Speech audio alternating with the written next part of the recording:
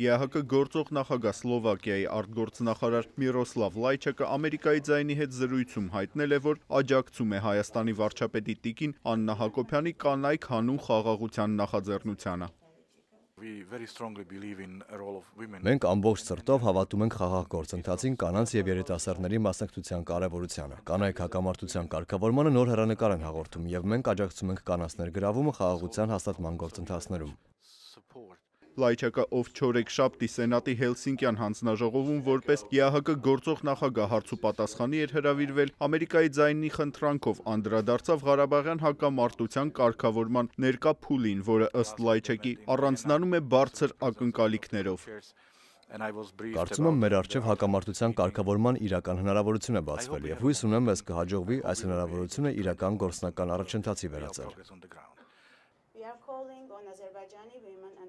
Կանայք հանուն խաղաղության իր նախաձեռնության մասին Աննա Հակոբյանը խոսել է երեքշաբթի ԱՄՆ-ի կոնգրեսում կազմակերպված երեկոյի եւ չորեքշաբթի Կարնեգիի հիմնադրամում Վաշինգտոնի առաջատար փորձագետների հետ հանդիպման ընթացքում։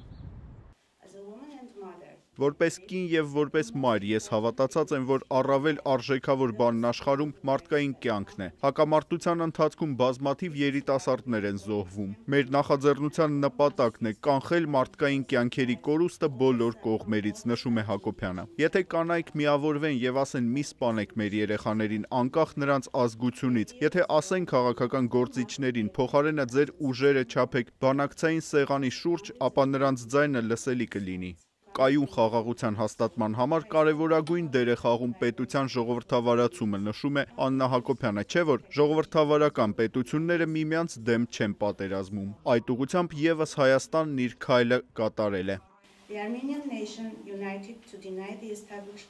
Հայազգը միավորվեց եւ մերժեց ղեկավարներին, որոնց մարդիկ այլևս չէին կարող դիմանալ եւ վստահել։ Տարիներ շարունակվող կեղծիքի եւ խափեության ժամանակն ավարտվեց։ Անհավասարությունն ու անարդարությունը, վատ կառավարումն ու մարդու իրավունքների խախտումները ավարտվեցին, նշում է Աննա Հակոբյանը։ Թավշյա հեղափոխության ալիքն այնքան հզոր էր, որ անցավ Հայաստանի սահմաններն ու հասավ նույնիսկ Ադրբեջան, որտեղ վերջերս Իլհամ Ալիևը ազատ արձակեց մի շարք քաղբանտարկյալների, նշում է Հայաստանի վարչապետի տիկինը շարունակելով. Ավելին, ես տեսա նախագահ Իլհամ Ալիևի եւ նրա տիկնոջ նկարները, ովքեր զբոսնում էին Բաքվի փողոցներով, նկարվում մարդկանց հետ։ Անշուշտ որպես մի քաղաքական գործչի տիկին, ով հայտնի է մարդկանց հետ նկարվելով, ես կցանկանայի, որ դա մնար իր առանձնահատկությունը, սակայն դա ամենաչնչին բանն է, ինչ ես պատրաստ եմ զոհաբերել հանուն խաղաղության, նշում է Աննա Հակոբյանը։ Արման Թարջիմանյան, Ամերիկայի ձայն, Վաշինգտոն։